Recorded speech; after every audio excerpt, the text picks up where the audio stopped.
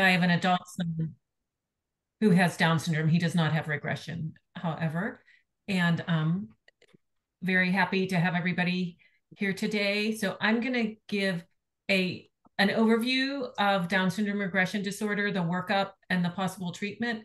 And then we're so lucky today to have Dr. Wong and Dr. Parikh from the Cleveland Clinic here to give us a little bit of their insight from their um, clinical knowledge and be and we I see we have a several other doctors on the call too that I'm so excited about and we'll be able to um, have some general discussions. We can't give any medical advice for specific people, but we um, can serve as a source of information.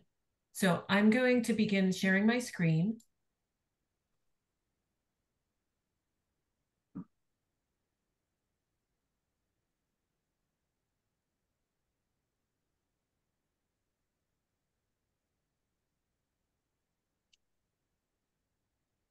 So this is just a little housekeeping at the beginning, just a disclaimer that says by viewing or participating in this webinar or watching it on the web, that you agree that the Down Syndrome Association or employees, anybody associated with us, are not acting as a medical professional for you or an attorney. And um, that does not create a doctor-patient relationship with anybody.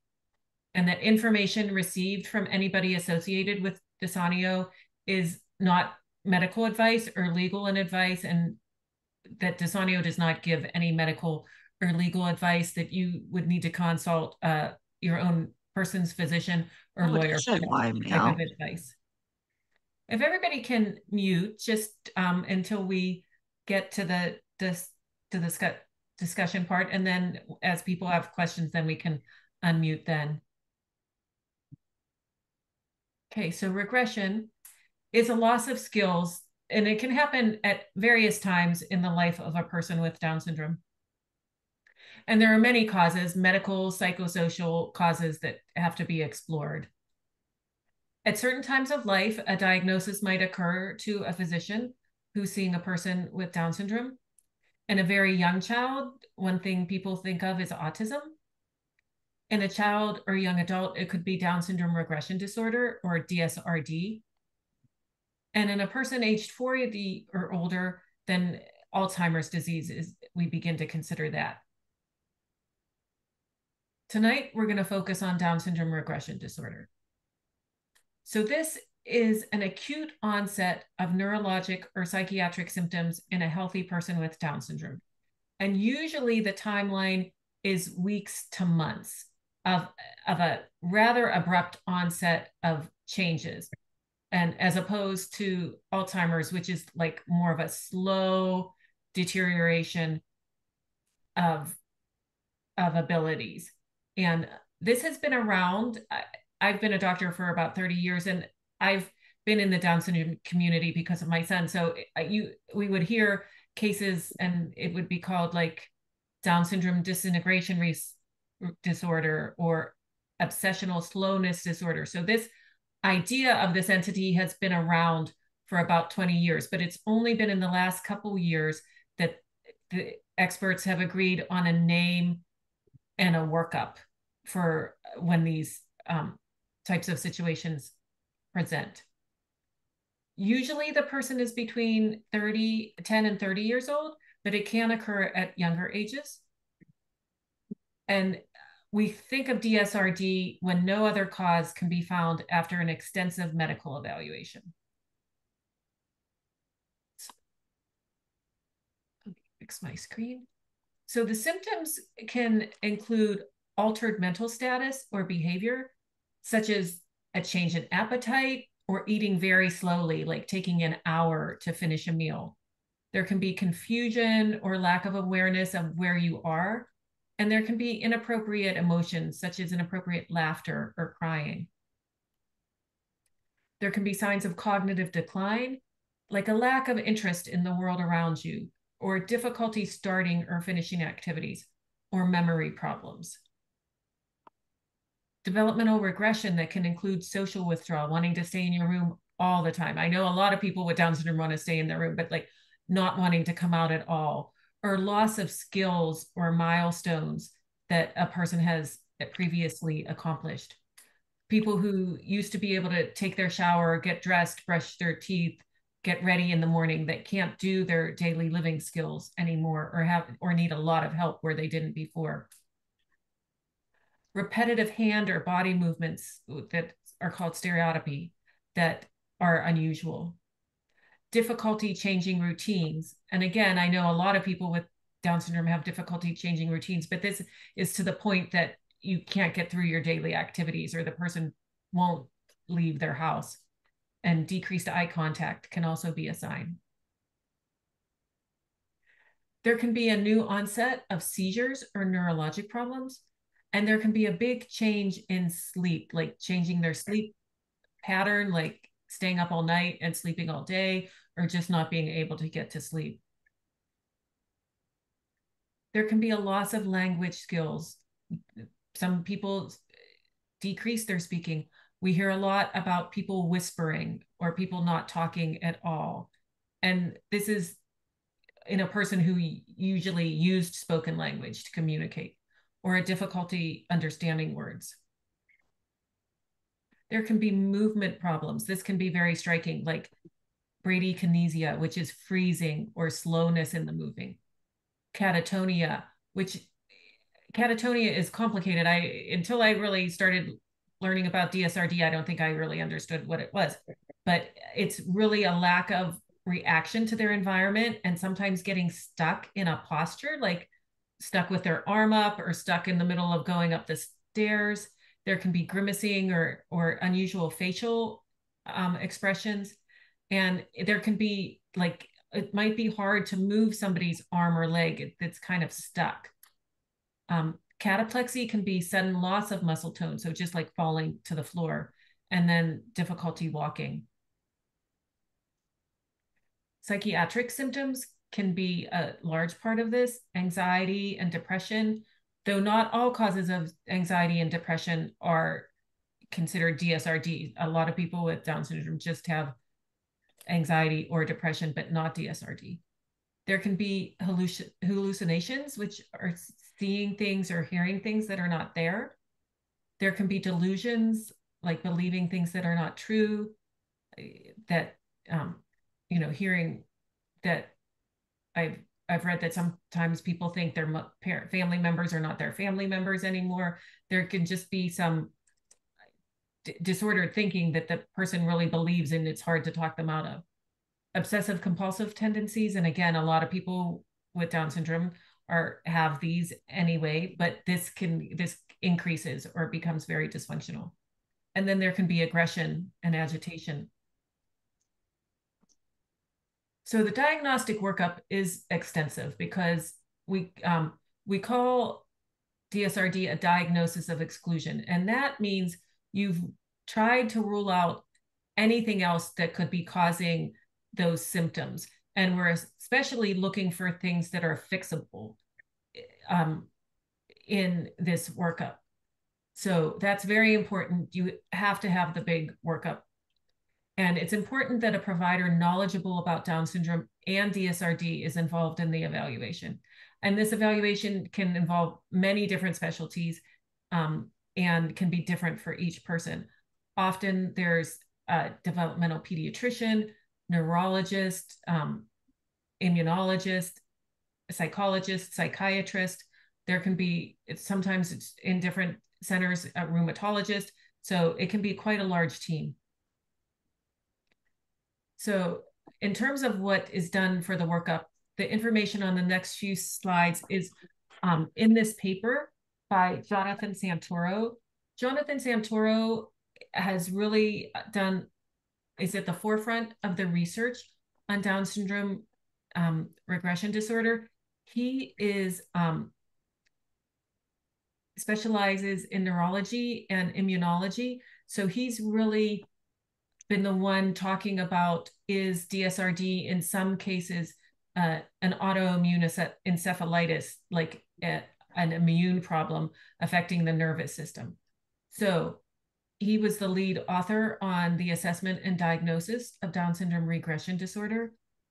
And that I really encourage you to download this article throughout this workshop, um, there's QR codes. So if you just shine your cell phone camera at the QR code and touch the little yellow rectangle, it will take you to the paper or the resource um, that I'm mentioning. And I think it's very helpful to actually read these papers and take them to your person's um, providers to see if, because not your your general internist, family practitioner, provider probably doesn't know anything about this. So the diagnostic workup um, would include imaging, which is specifically a brain MRI, because want to make sure if there's anything else going on in the brain, such as um, any like a stroke or hydrocephalus or a or a structural problem in the brain. But also some of the new information is there's some they're finding some signals on the brain MRIs that tend to occur in um, people with DSRD. So that can be a helpful signal also. An EEG is done to make sure the person is not having a seizure. There many blood tests. A lot of these are to look for signs of inflammation or problems with the immune system. They look for antibodies against the thyroid system or um, also celiac serology, and then any the cell-based autoimmune encephalitis panel that's a big word but it's looking for different antibodies that the body might be making against itself. An auto antibody is when the body makes an antibody against itself and then it starts causing symptoms because of the inflammation it's causing. A lumbar puncture or spinal tap is part of the workup and that again is to look for signs of inflammation or immune problems. I watched a webinar a week or two ago by Dr. Santoro, and he did say this is a really important part of the workup. Um, the closer to the onset of the symptoms, the more helpful the workup tends to be, and the more successful the treatment can tend to be. So it is of some time is of the essence as these changes start to try to get the thorough workup done.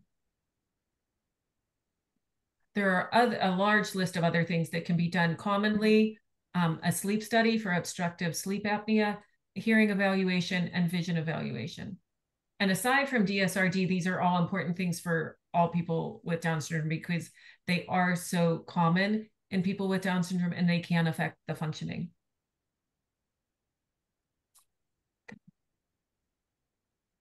So the treatment will really depend on what's found during the evaluation. We're looking for something that's fixable. And then if no cause is found, the diagnosis of DSRD can be considered. So this article reviews the treatments that have been tried for DSRD. Again, um, Dr. Santoro and then several other doctors from Boston and Pittsburgh have updated the therapeutic advances, and that's available at that QR code. So traditionally, DSRD, or what used to be called obsessional slowness or disintegration disorder, was thought to be a psychiatric condition. It was thought to occur like after a, a psychiatric trauma or when the siblings left home or maybe around puberty. And that um, I, that still probably is the cause in some cases, Dr. Santoro does think that different patients probably have different root causes of their DSRD, and it's not all exactly the same diagnosis. So traditionally, the some of the first medicines tried were psychiatric meds like antidepressants, um, benzodiazepines like Ativan, or antipsychotics.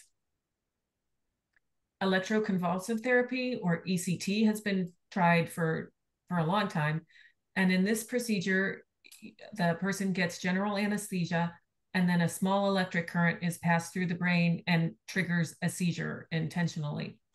And nobody really knows exactly what happens, but it seems to change the brain chemistry and can reverse some symptoms of um, certain mental health conditions. And it has been used and used successfully in DSRD before. For more information on that, you can go to this QR code. And this is specifically about ECT, not in relation to DSRD, but just so you know what it is. So, as I said, in the in the recent years, it, there has been a suggestion that perhaps some cases of DSRD are an autoimmune encephalitis. And encephalitis is like a, an inflammation of the nervous system tissue, and autoimmune just means the body is kind of attacking itself. So, different types of immune therapy have been tried. So, IVIG is intravenous immunoglobulin. And this is antibodies collected from blood donors and given as an IV infusion. So that's been tried. JAK inhibitors, Janus kinase inhibitors, these are a different form of immunotherapy. And there's um, several brands that can be taken orally. Xeljanz, you might see the commercials at nighttime, that is one of the big names in um, inhibitors. And then steroids like prednisone or things like that. So currently, there is a study comparing the treatments that have been tried so far for DSRD. And this is being done by Dr. Santoro um, and Espinosa and Sanar. It's from Children's Hospital of Los Angeles and then Global Down Syndrome Foundation in Denver and um, Denver Children's Hospital. So it is comparing Ativan, which is a, the benzodiazepine, to IVIG, to a JAK inhibitor, tofacitinib, or Xeljanz. And they um, they are still recruiting for this study. So if anybody is interested, then you can go to this QR code and learn more about this study. Um, they ha- they have recruited quite a few people, but they do want more. Dr. Santoro did publish some information. There was a study that came out, it was a case report, not exactly from this study, but from a different study that was done on alopecia areata, which is when people lose um, bald patches on their hair. And it does happen in people with Down syndrome. And these people were treated with um, the Zel the Xeljanz, and they found a lot of hair regrowth but incidentally, some of the people had DSRD and they saw a big improvement in their symptoms. So that was a case, those was a three case study that was just reported. The other thing from the latest um, that I hadn't heard of before that Dr. Santoro said in the last webinar that was just a week or two ago, and you can find the link to that on the NDSS website, is um, that a lot of the patients they see with DSRD eh, presented with very bad dandruff, thickening of the skin on the scalp, and actually darkening and thickening of skin on the neck or hands. So the skin changes can also go along with the clinical picture of DSRD. So that's um, that's the review, but I want to tell you about some resources.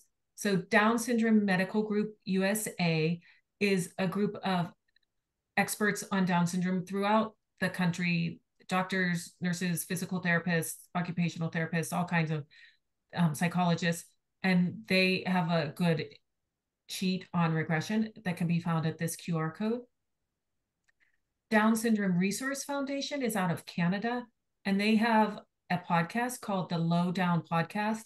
And they have a very good um, episode on um, Down syndrome regression disorder. Dr. Santoro and Dr. Eileen Quinn, who's an, a widely regarded expert on DSRD out of Toledo, are both featured in that episode. And all their episodes are great. So check that out.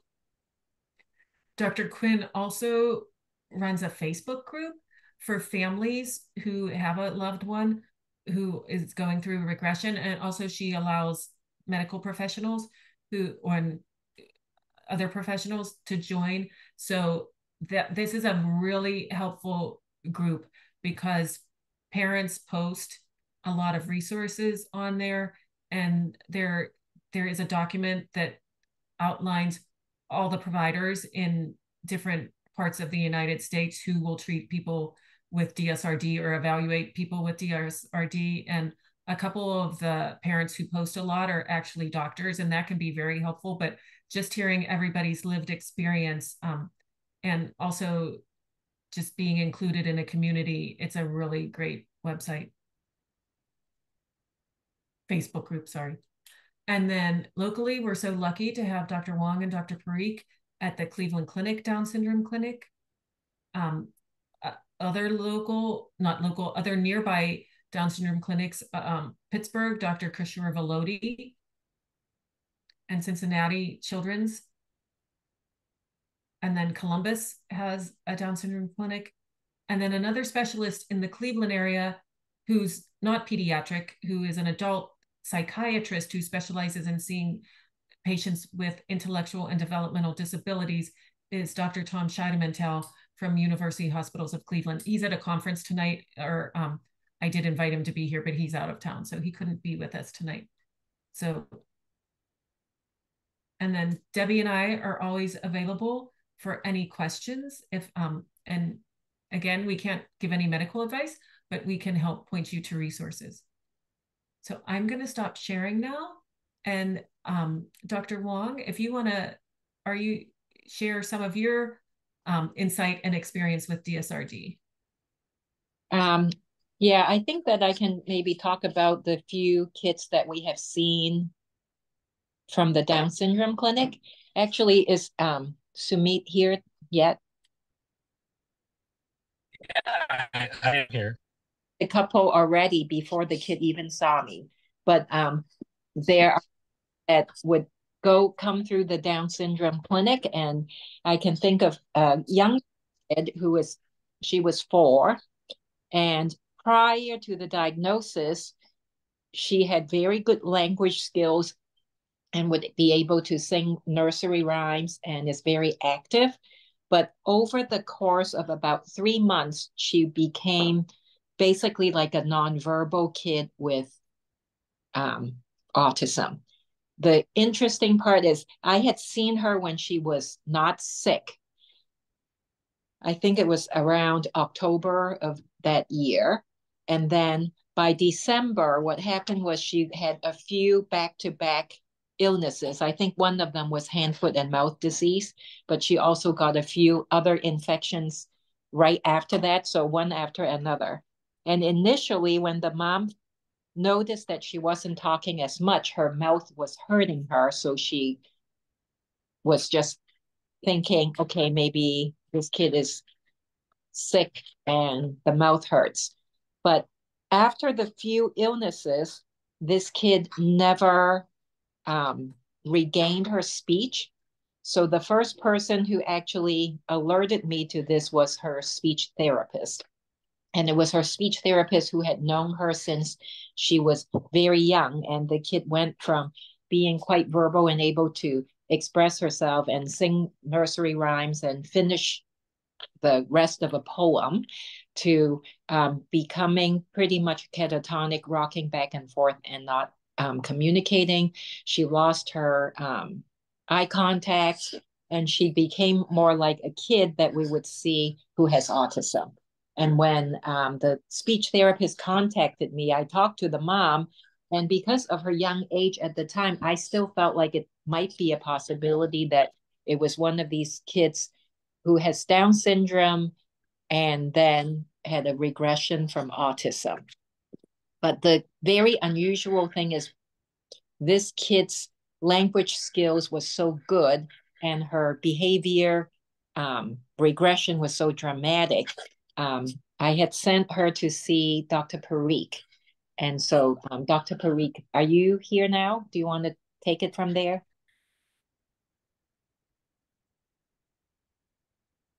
No? Wait, I can't hear you, Laura. Could you unmute Dr. Parikh? Um, yep, there you go. Now can you hear me? Yes. yes. Okay. Hi, hi everyone. I'm I'm Sumit Parikh. I'm one of the pediatric neurologists at Cleveland Clinic. I specialize in seeing children and adults with genetic conditions. Um, I've uh, been here uh, at Cleveland Clinic for about 20 years, and um, and I, I, have the privilege of working with Dr. Wong um, and seeing and sharing um, some of these uh, children and and adults who might have Down or who do have Down syndrome. Um, and and I appreciate being invited today. Um, I think the child that Dr. Wong is speaking about is a bit of a unique case, um, only because you know, a, as you've already learned, and you might have already known that most of these individuals who have this happen are a bit older.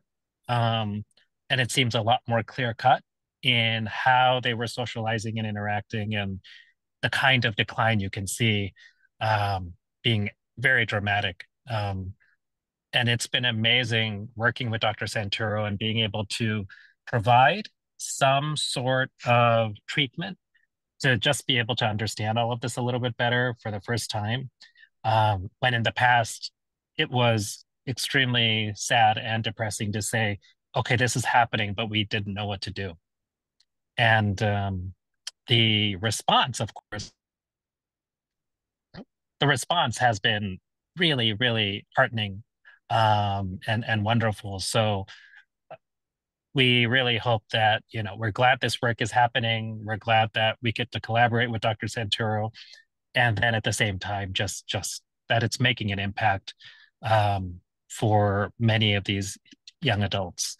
Um, the case Dr. Wong was talking about is a bit unique because of the younger age, and I we're always very cautious when we see young kids uh, going through this.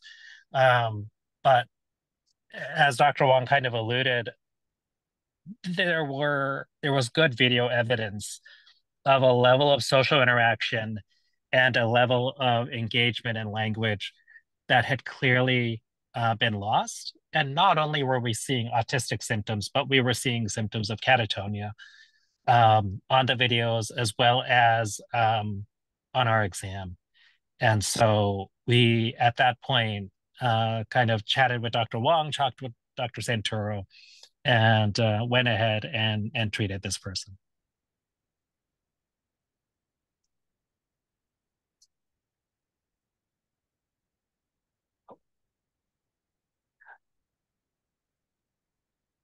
Were there other questions or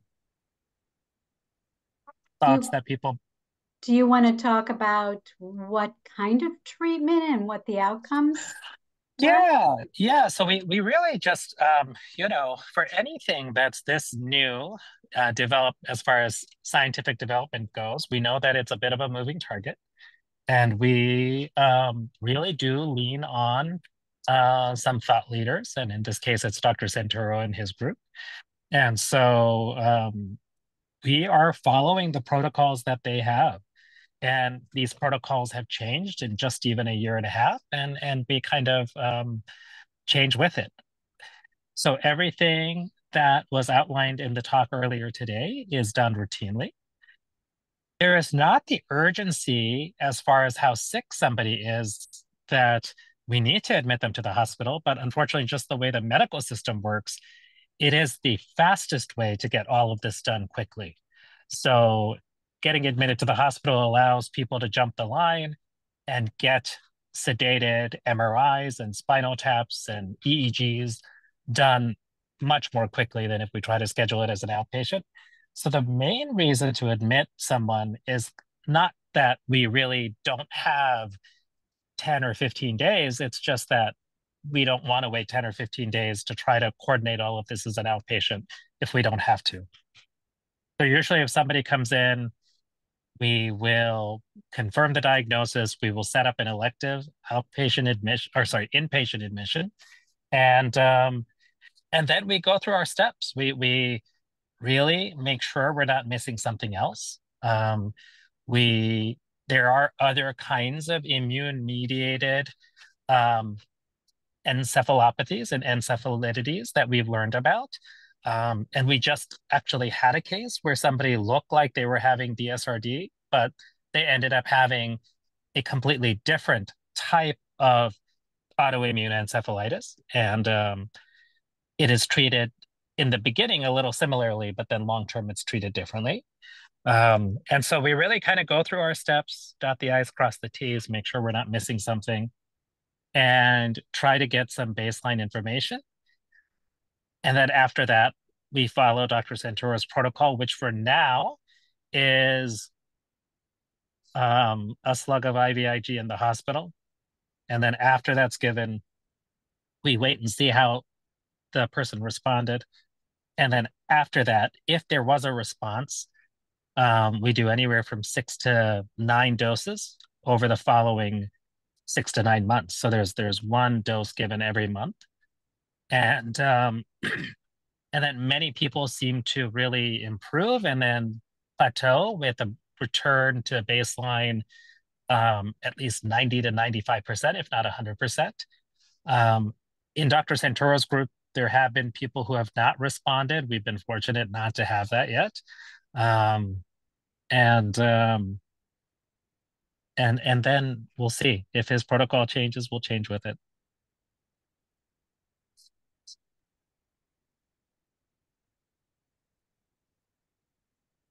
About not being able to find doctors who will treat it. How did you first get interested in it, or you know, take it take it on? So we're so thankful that we have resources in Cleveland like this how did how did you get to be able to do this? So I my specialty area is helping with diagnostics for anybody who has an unknown genetic condition, or we use the word neurodegeneration. So pediatric or adult person who is declining and nobody knows why, and they've excluded the common things, um, they will usually end up in my clinic. And so from the Down syndrome side, you know, fortunately the numbers are not very high uh, for this, which is which is good. Um, but over the years, um, either through Dr. Wong or through uh, other referral sources, we've had pediatric patients with and without Down syndrome come in with catatonia. And they get evaluated by the neurology team, they'll get evaluated by the psychiatry team. Um, and we have our protocols for individuals who do not have Down syndrome. We will then, um, if we strike out, quickly go to genetic testing and they'll loop me in. And so you see it, do you, have you treated any adults with DSRD or? Um, we have seen adults with DSRD, but not in the last year and a half since all this started up. Okay. Yeah. Are you open to seeing adults that are thought to have DSRD? Absolutely. Okay. After treatment is administered and the patient returns to baseline, is there a protocol for ongoing therapy to prevent reoccurrence? Does reoccurrence happen? So I think one that's all still being looked at um, because I don't think anybody gathered the information in such a uniformed way um, just until the last year and a half or two years. We are learning that inflammation plays a key role, and we talk about inflammation from infections, um, but we know that even dramatic emotional stressors cause an inflammatory response in the brain. Um, and so, why some individuals have DSRD develop after, say, a sibling leaves for college or they leave school and now are at home with a dramatic shift in routine, um, we, we know that there's neuroinflammation going on, and most of us can handle it and manage it. Um, but in Downs or in some of these other autoimmune encephalitides, the immune system is overreactive and then causing these problems. We don't know if just treating them for six to nine months does the job and whether we're going to have to do this again because they're going to relapse. Um, it sounds like for Dr. Santoro's group so far, when he looks at the numbers, there is a small percentage that seem to relapse. And they are looking at whether there is something better than just IVIG, which is an infusion. You have to come in to an infusion center, you have to get a large IV put in, you have to get lab work, you have to waste your day there and and um, get this IV therapy, which is a blood product. Um, and so they are absolutely actively looking to see if there are other immunomodulators we can give safely. Um, and so I suspect that's going to change over the coming year or two as to what our response is going to be for those who've relapsed. The ones we've treated so far, um, excluding this little four-year-old who is a unique case, um, we have not had anybody relapse. Wow. wow. Yeah. Oh, it's been, you know, it's one of the saddest things when not only could we not figure out what was going on, but then watching these beautiful young adults and adults just not be themselves, just become a shell of themselves. And, you know, anything, we would do anything to be able to help. So the fact that this has done something is just so heartening. It is so wonderful. Um, and, um, you know, we love seeing 90, 95% back to baseline, but we'll, you know, when we had absolutely nothing to give, we'll even take 50% at this point. So, um, yeah. Well, uh, Dr. Parikh and Dr. Cifra-Bean and Dr. Wong, are you ready for questions? Are you, yeah? If people want to put their questions in the chat or raise their hand, they can do that. You have a hand reaction on Zoom. Debbie, there was Kristen Barrett put in the chat that they're actually in the trial in Colorado. I wonder if Kristen might um, tell us a little bit about that to start off the question sessions. That'd be great. Kristen, you want to share?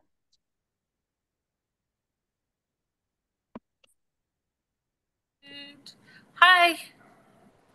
Hi. Hi. Hi. I'm I'm trying to get there. I'm in Florida.